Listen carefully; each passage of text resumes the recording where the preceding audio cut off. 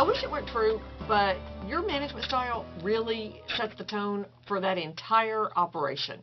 It'd be easy if you could just kind of go on your way and do what you need to do, and then the employees would just kind of make their way. It doesn't work like that. You know that. So you've got to be accountable for your behavior, and that's going to make the entire difference on your operation. You set the tone. Your behavior is on display at all times, and what you do somewhat cascades down to the rest of your team. So I need you checking yourself. Let me offer this to you.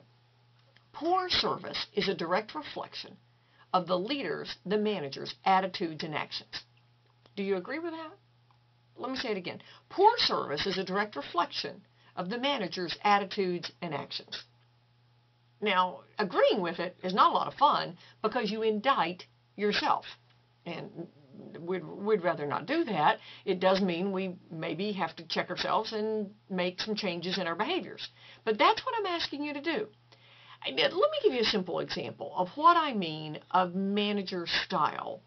And I know it's sometimes really easy to think about, yeah, but if leadership would make these changes, I want you right there, your operation, your facility, to think about how this applies to you. My sister and I were having lunch one day, we had ordered pizza and tea. We were in a building shaped a whole lot like a hut. I, I won't name where we were, but our pizza had not arrived. Tea had.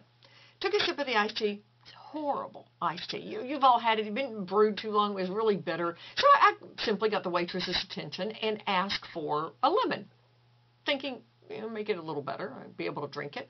And she said, we don't have lemon today. We'll have them tomorrow. I'm sitting in a restaurant that is an out parcel with a strip to a strip shopping center that is anchored by a very major grocery store, a Kroger grocery store. But I'm sitting there and she said, we don't have it. I, I guess food supplier comes on Wednesday, it was Tuesday, and whatever they're out of that is a non-essential item, they just make it until the next day. I, I guess if it were pizza sauce, they'd be figuring out what to do. But there is some manager's policy, my guess, is it says you can't take $20, $10 out of the cash drawer, walk to Kroger, buy a bunch of lemons, slice them extremely thin in order to carry us through to the next day. So here I am frustrated. Do I take my frustration out on the manager who created the policy or that waitress?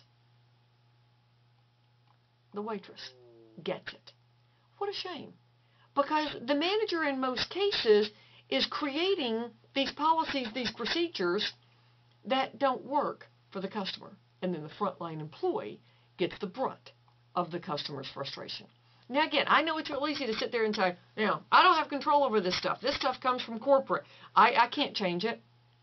I do ask you to look at the stuff that you might be creating that literally is tying the hands of your team members that so that they're not able to serve the customer as they want to. I think sometimes we create policies and procedures that are truly aimed at the 5% of our customers, the ones who maybe are out to abuse us, take advantage of us. But then the other 95% of our customers don't want to do business with us because our policies and practices are really aimed at the 5%. So my question to you is do you have any we don't have any lemons today, we'll have them tomorrow. Because those kinds of things can make a difference in how customers experience us and our business. Go back, do a check. What are you doing as that manager to truly allow your team members to do what's right for the business as well as the customer? I believe those two can be balanced if you, as that manager, are setting the guidelines, setting direction, letting people know how far they can go and what's expected of them to balance organizations, business needs, as well as customer needs. And then within those boundaries, let them make decisions. And I know you're thinking the word empowered. That's what we're doing. We're truly empowering our team members to make decisions on behalf of the organization as well as the customer. You guide it though. You're not abdicating your control and power. You're still in charge. But if you've hired well, you've trained well, you've had incredible discussions, you run great team meetings, then this can happen with your team members who are facing customers every single day. We know the best out there are looking at these kind of issues, and the best managers make it happen. Your style sets the tone. You're constantly on display. What are your team members watching? And what do you want them to do after today?